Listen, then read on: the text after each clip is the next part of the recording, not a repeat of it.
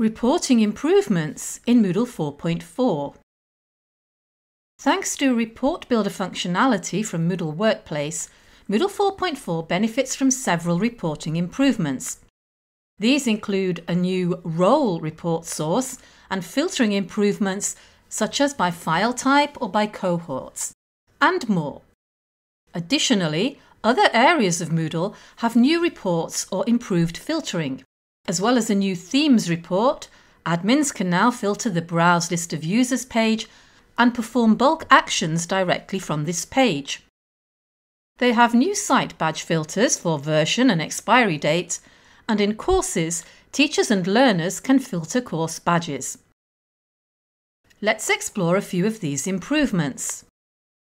Here, we follow our admin as she accesses custom reports on her Moodle 4.4 site. Thanks to filtering improvements, she's been able to create a custom report to identify courses containing large course backup files. She can then filter by time created and size and locate them. Now she needs to create a report on teachers assigned at category level. So from New Report, she selects Roles and then adds Context, Context URL, which she renames to Category, and user, in her case, full name with picture and link, which she renames to teachers. From conditions, she selects context level is equal to category and role name is equal to teacher. Previewing the report, she can easily see which teachers are assigned in which category and can add filters if desired.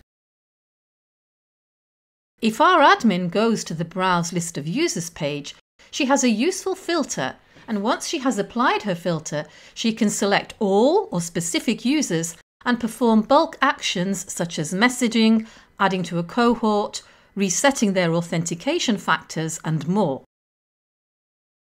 The new theme usage report allows her to identify which themes are used as user, course, cohort or category themes.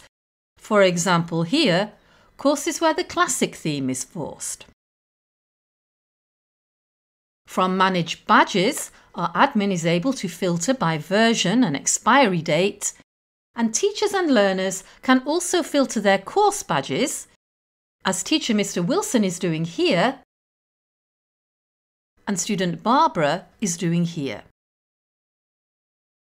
To summarise, Thanks to Report Builder functionality, Moodle 4.4 benefits from several improvements to custom reports and other areas of Moodle.